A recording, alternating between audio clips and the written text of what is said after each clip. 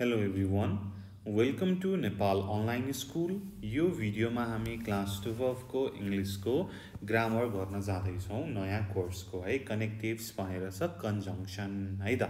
So दुईवटा sentence जोड्ने दुईवटा क्लज जोड्ने वर्डलाई नै कन्जङ्सन अथवा कनेक्टिभ भनेर भनिन्छ है। सजिलोको लागि एन्ड अर बटहरू छ। तिनीहरू सबै कन्जङ्सन कनेक्टिभ्सहरू हो। है त? So let's dive straight to the exercise है तपाईँको बुकमा पनि हेर्न सक्नुहुन्छ page number forty one okay A study the following sentences and underline the connectives भनेर भनेको छ है? Although she spoke very fast I understood what she meant to say भनेर भनेको छ this although although is the connective although है? Next in spite of her hard labour she failed her exam है labor है labor she failed her exam though he had all the required qualifications he did not get the job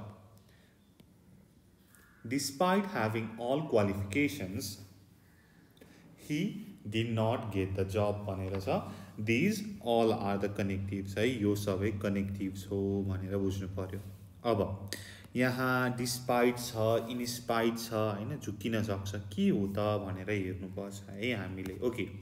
अब हामीले बुझ्नु पर्यो in spite अथवा despite कुन बेला लगाउने त भनेर है।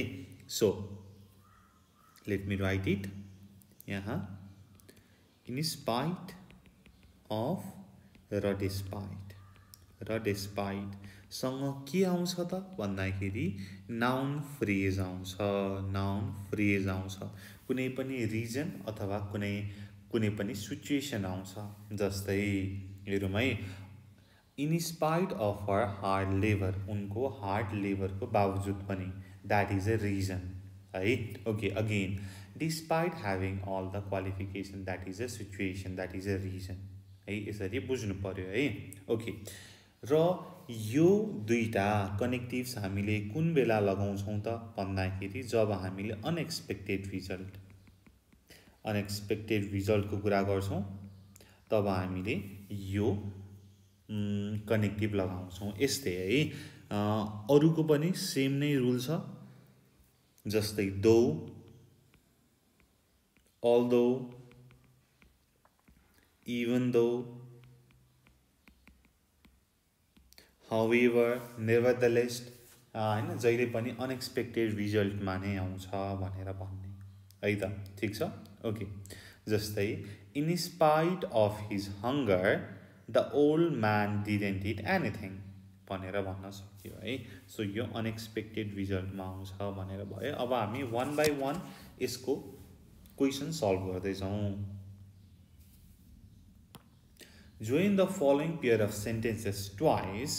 Using although, though, even though and despite in spite of भनेर भनेको छ हामीले चाहिँ दुईवटा सेन्टेन्स बनाउनु पर्यो हरेक क्वेसनको भनेर छ है त। सो यहाँ हेर्नुहोस् त इक्जाम्पलमा Nepali people have limited income they are happy although Nepali people have limited income they are happy भनेर छ एउटा है।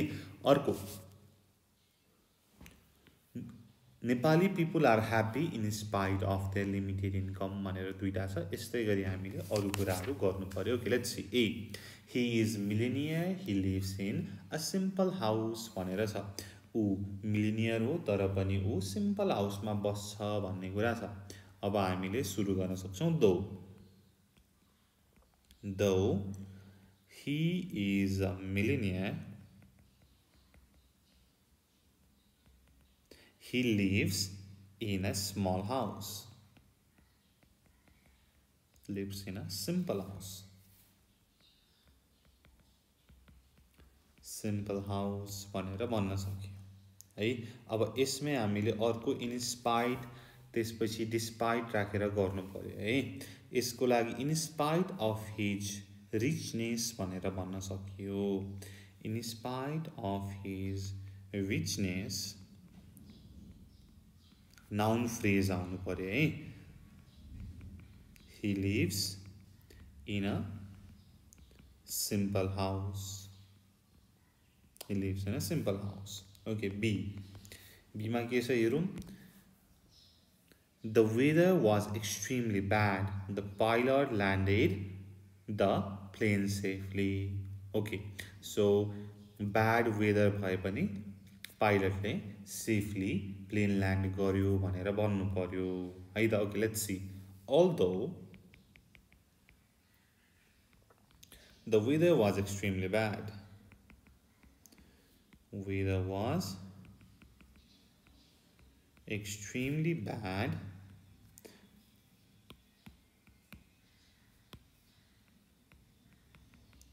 The pilot landed the plane safely the plane safely भनेर भन्नु पर्यो okay next the pilot landed the plane safely. The pilot landed the plane safely.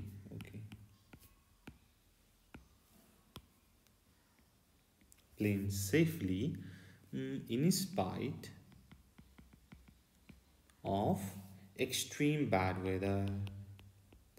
Extreme bad weather. भनेर भन्न सक्यो okay C we study in the same college we hardly see each other भनेर छ अब all दो भनेर भन्नुभयो पनि हुन्छ इभन दो भनेर भन्नुभयो पनि हुन्छ even though we study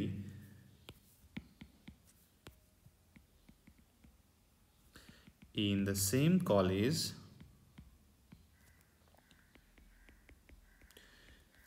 we hardly see each other we hardly see each other अब in spite despite राख्नु पर्यो we hardly see each other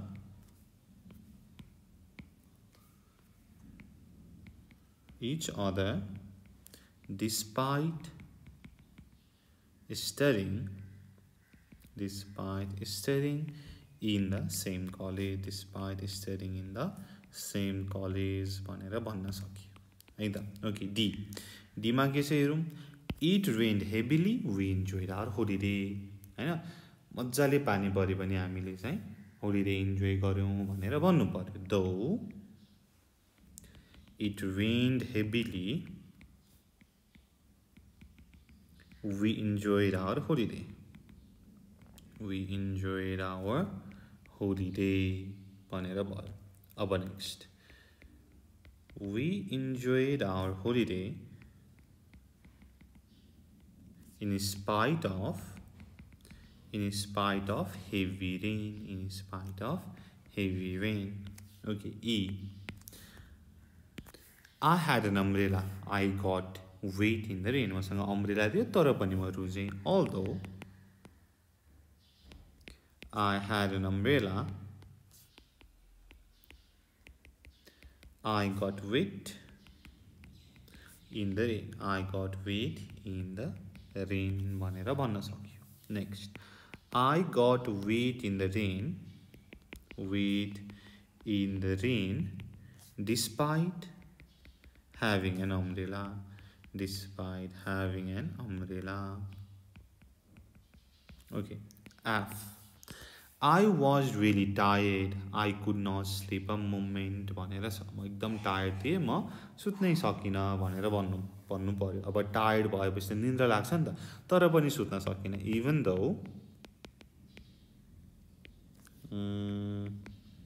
I was really tired even though I was really tired I could not sleep a moment एकछिन पनि सुत्न सकिनँ I couldn't sleep a moment next I could not sleep a moment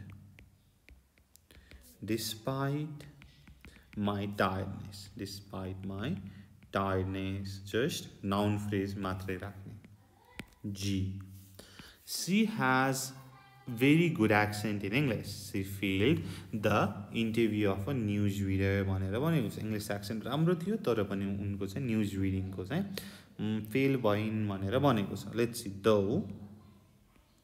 though she has very good accent in English, She failed the interview. She failed the interview of a newsreader. Next. She failed the interview of a newsreader in spite of in spite of her good accent in English. Good accent in English. Okay. So यसरी हामीले गर्न सक्यौँ है so I will leave this to to you है यो यो दुइटा चाहिँ गर्नुहोस् है त ओके एकचोटि म भन्छु Lhasa has extremely cold cold weather in winter Lhasa okay Millions of tourists go there in January. Although Lhasa has extremely cold weather in winter, millions of tourists go there in January. Millions of tourists go Lhasa in January despite its cold climate winter in weather in winter.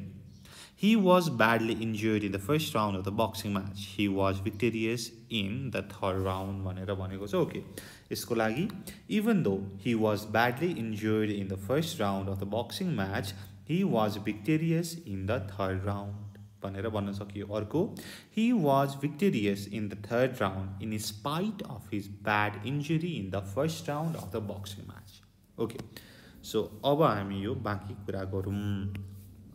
Complete each sentence in an appropriate way. He passed the exam although भनेर भनेको छ। अब although के त?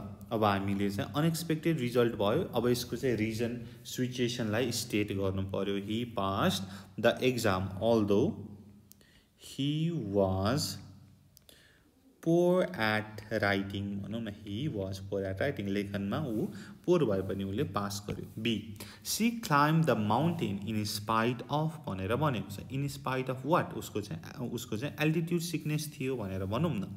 In spite of her altitude sickness sickness भनेर भयो है. She climb the mountain in spite of her altitude sickness C he did not give any alms to the beggar even though ऊ धनी थियो तर पनि उसले दिएन even though he was rich so even though he was rich भनेर भने भन्न सक्यो यो आर्म्स एएलएमएस भनेको चाहिँ भिक्षा भनेर भनेको दान दिने भनेर भनेको है। D in spite of his poor eyesight उसको चाहिँ पोर आइसाइट थियो तर पनि उसले टाढामा मान्छे हिँडेको देख्थ्यो भनेर भनौँ न है। In spite of his poor eyesight, he notices a man walking far. Okay, next. E. Da da da those is very sociable भनेर छ सो उनी चाहिँ सोसियल वर्कर होइनन् त्यही पनि उनी उनी चाहिँ सोसिएबल छन् भनेर भनौँ न होइन she is not a social worker C is not social worker social worker though she is very sociable F in spite of his 10 attempts 10 10 attempts मा पनि उसले ड्राइभिङ लाइसेन्सको एक्जाम पास गर्न सकेन भनौँ न he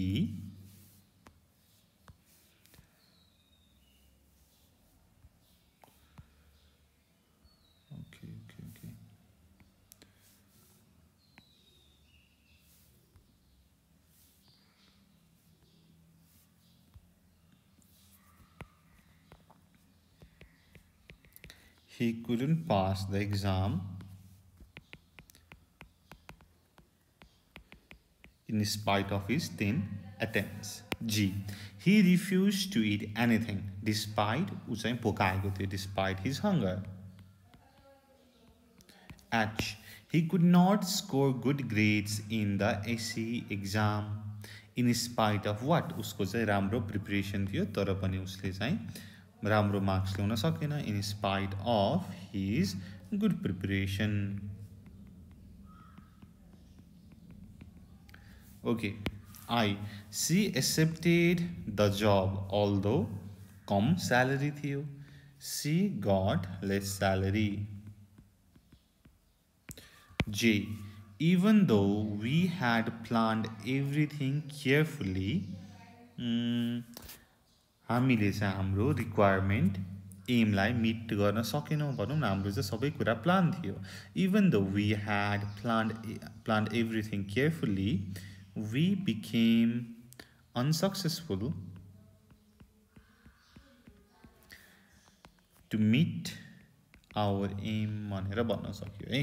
अब यसमा कनेक्टिक्समा सरी कनेक्टिभमा दुईवटा मात्रै कुरा छ है। एउटा चाहिँ इन्स्पाइट अफ डिस्पाइट अफको एउटा चाहिँ इभन दो अल्दो र दोको कुरा छ है। ठिक छ? त्यति दुईवटा कुरा मात्रै लेख्नु लेख्नु पऱ्यो है। ओके सो यसको म तपाईँलाई एउटा रुल जस्तो तपाईँलाई भन्छु है त। सो यदि तपाईँले दो लेख्दै हुनुहुन्छ अल्दो एन्ड इभन दो भनेर लेख्दै हुनुहुन्छ भनेदेखि तपाईँले यहाँ चाहिँ के लेख्नुहुन्छ त? रिजन लेख्नुहुन्छ त्यसपछि सिचुएसन लेख्नुहुन्छ। सिचुएसन लेख्नुहुन्छ। के को फर्ममा त? सब्जेक्ट प्लस वर्ब प्लस अब्जेक्टको फर्म फर्ममा लेख्नुहुन्छ। कुनै पनि यहाँ फ्रेजहरू लेख्नुहुन्न। तर in spite of despite of को कुरा छ भनेदेखि तपाईँले नाउन फ्रेज लेख्नुहुन्छ नाउन फ्रेज लेख्नुहुन्छ रिजन लेख्नुहुन्छ सिचुएसन लेख्नुहुन्छ सब्जेक्ट प्लस वर्ड प्लस अब्जेक्टको फर्ममा लेख्नुहुन्न है? यति दुईवटा रिजन मात्रै हो धेरै यसमा केही पनि छैन है त? ओके सो अब यसमा तपाईँले केही नबुझ्नु भएको छ भनेदेखि यु क्यान आक्स मी है?